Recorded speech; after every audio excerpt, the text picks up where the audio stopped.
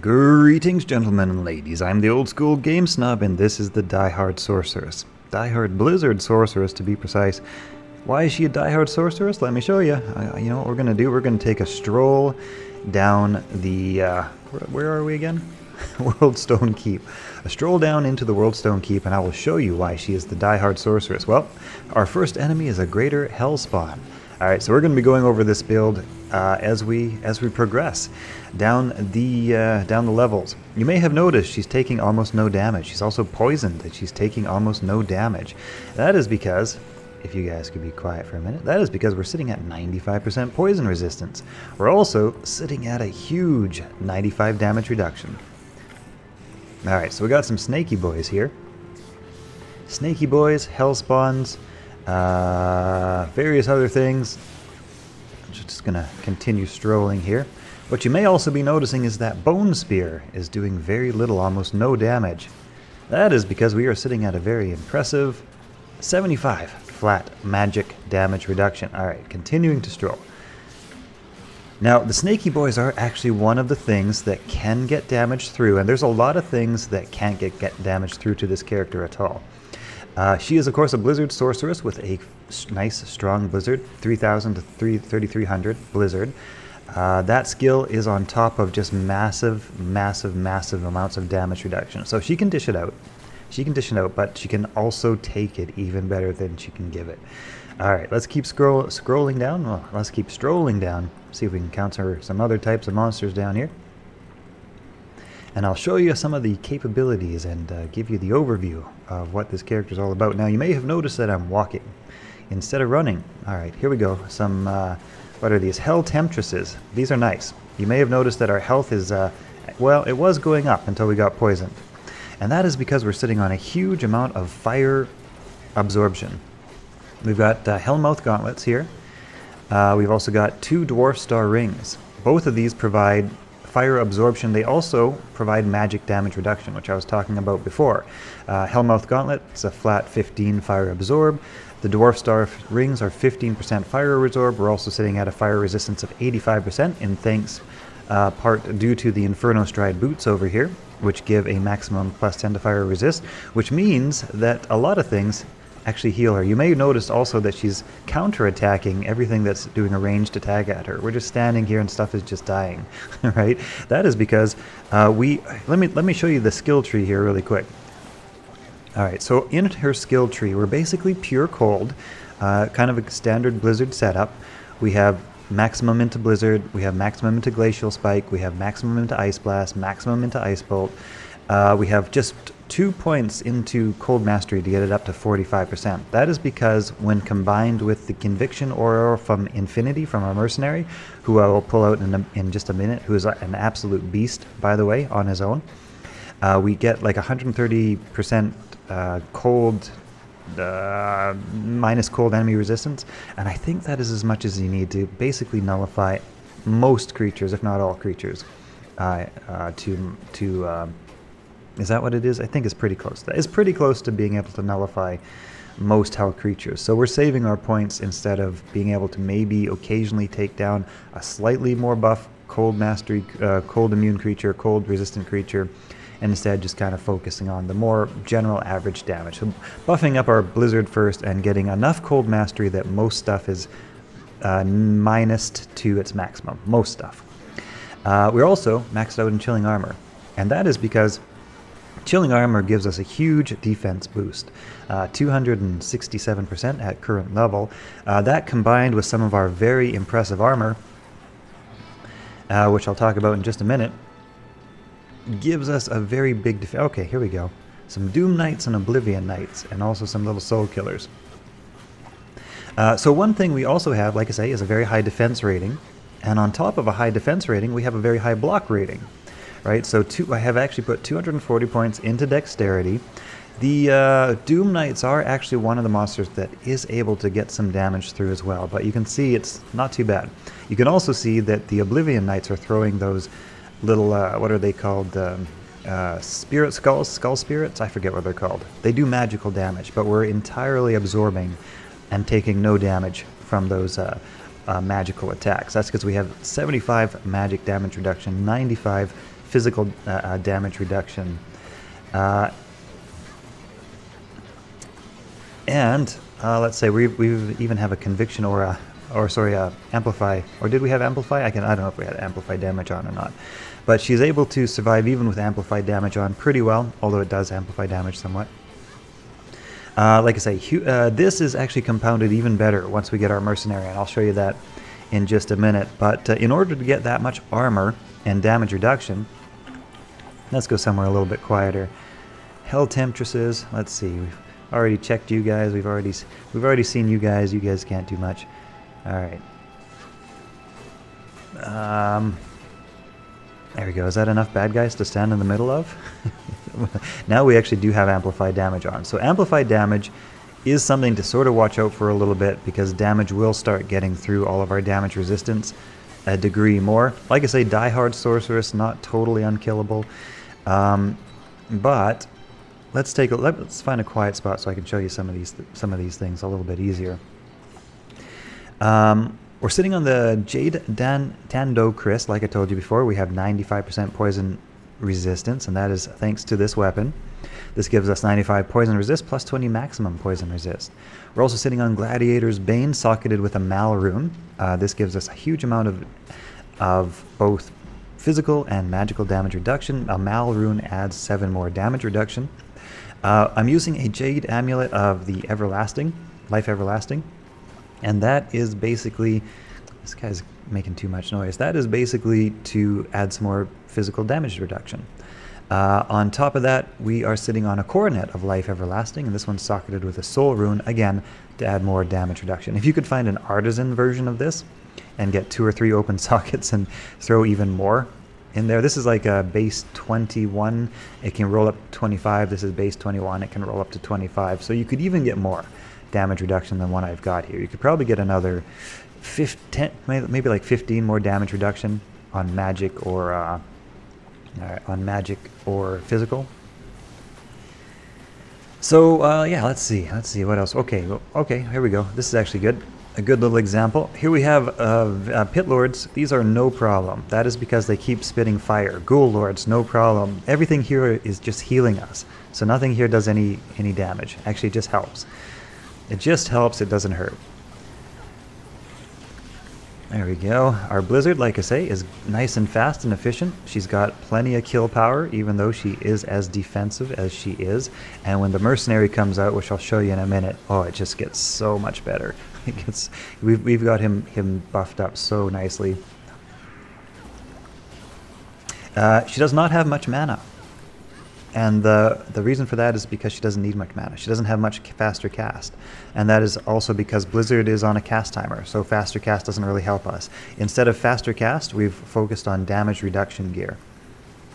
Uh, so that's you know kind of the unique, unique and weird setup. I bet I bet you've never seen a setup like this before. This took me about two days of testing to finally come up with a fairly workable version of it. I tried all sorts of variations. Um, you could, you know, swap on something like Crown of Ages in there. You could swap out something like Storm Shield for for 35% physical damage reduction. Socket that with like a Sol Rune or something. I'm trying to figure out what I like better. I think this is the best version of it. And like I say, if you were able to find an artisan's uh, or jeweler or artisans two or three open socket version of this with maybe like some skills or actually or or with some skills I guess because mag- magic will roll one or the other man this could get even sillier so all in all, yeah, like I say, we've got a huge defense, we've got huge block, we've got resistances and absorbs, we have huge poison uh, poison reduction. We've just got it all. We just got it all. Um, let's grab our mercenary here, and uh, let's stroll into. um, we'll stroll into Chaos Sanctuary, and I'll show you how she's a she was an excellent performer in Chaos Sanctuary. Okay, so for our mercenary. Oh yeah, I took his stuff off because I, I, had to get him. He can't die. He basically doesn't die if I don't uh, take off his gear. He's just too strong. He's got Infinity. You could swap that for Reaper's Toll, but uh, Infinity combined with the amount of cold mastery that we have, like I say, minus 130% enemies resistance when you combine those two things, allows us to jam more points into the synergies of Blizzard and still maintain that pretty near maximum minus enemy cold resistance when you combine with Infinity. But if you didn't have Infinity, you could use Reaper's Toll instead and put less into something like Ice Bolt or Ice Blast and raise your own Cold Mastery up. Cold Mastery does give you a better bang for your buck than additional damage, uh, depending on which monster you're fighting, of course. So we've got Fortitude, Andariel's Visage socketed with a Cham Rune. And the reason we're socketing with a Cham Rune, let's go over to Travincal actually, I'll show you how she performs over there. The reason we're socketing with a Cham Rune is uh, to prevent our mercenary from getting frozen. he can still get decrepified, of course, but he can't get frozen. Uh, which means that he'll constantly be putting out that damage and uh, being able to stay alive a lot easier. That being said, wow, wow, wow, we're having, running into some issues with those guys. Oh, poor mercenary. Usually he doesn't have much issue. It probably helps once he gets his aura up. By the way, we have him running the Defiance aura, and you'll see just how quickly he takes stuff down here in a second. Um, yeah, one shot, one shot. Let's head back over here. I think we got our... No, we don't have Defiance Aura yet, up yet, but that will help quite a bit. Typically, most stuff can't hurt this mercenary. Most stuff. The Council seems to be an exception to that, but you may have noticed the Council can't really hurt our Sorceress. That is because they're doing lightning damage and fire damage. Even with an amplified damage on her, she's basically just healing from all of this. This is all just lol lol lol lol lol. This is no problem. Alright. Alright, so I'm having some FPS issues. I'm just going to pause and, and reset. Alright, let's go for a walk into the River of Flame, and you can see just how well this build does. I'll uh, let some things try to kill us, for the fun. But, I mean, typically you'd just be running in, throwing down your Blizzard, and I'll show you like some of her kill power, because she's got excellent kill power. In addition to all of her defensiveness, she's just got excellent kill power. And that is where the Mercenary really comes into play. Uh, because we've maximized one elemental damage type, when we do encounter those cold immunes, we want a mercenary that can take care of it. Typically, I'd skip past all of this stuff if I was just farming, because it's not really worth killing. But the stuff we need to kill, the mercenary is able to do that very, very well. Here we go. Let's see how these Doom Knights do. We've already tested Doom Knights, haven't we?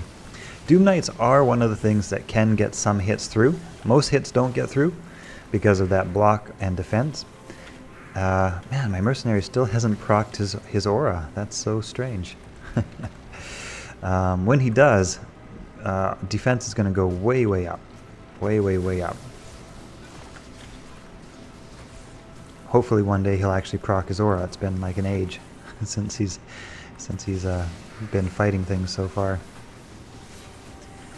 So yeah, basically the idea is to use Blizzard to clear out anything not cold immune pretty quick, pretty easy, and uh, that basically also takes a lot of the heat off of our mercenary, who is then able to mop up anything with cold immunities.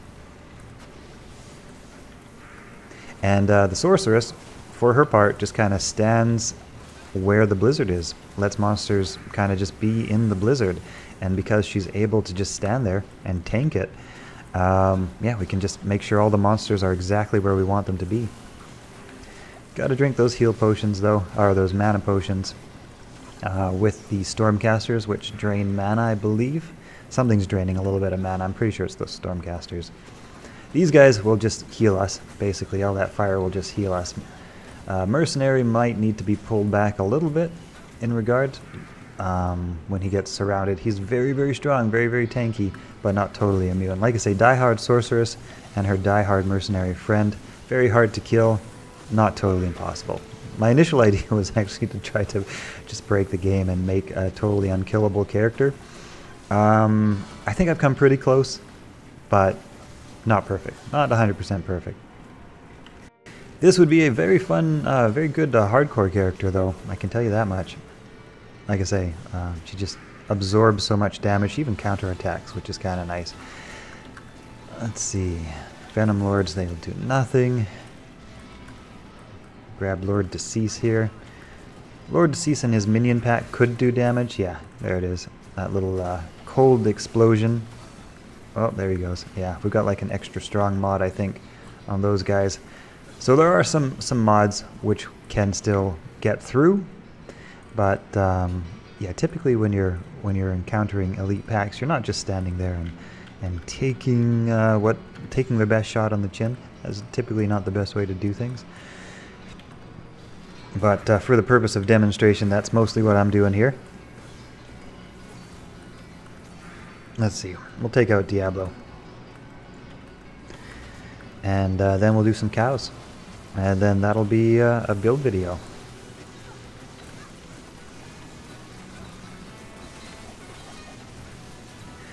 Uh, but yeah, this is a, a, a very fun, kind of trolly, but actually pretty weirdly effective. Like I say, her Blizzard kill speed doesn't really suffer much.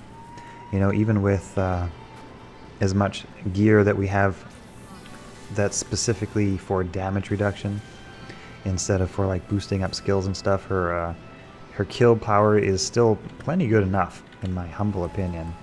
There we go. That's good. Let's go finish Diablo. Uh, I believe I got one point into Warmth, just to help with some mana regen, and of course, you could grab Static Field if you like it. I don't really care about it that much. Blizzard kills fast enough, so it doesn't really matter. We'll see if Diablo can actually hurt us at all here. I don't think he can. I think we're basically immune to Diablo. Yeah, there's his, let's see. There's his cage, his yeah, lightning spell. Basically does no damage. And uh, yeah, we're basically immune to Diablo.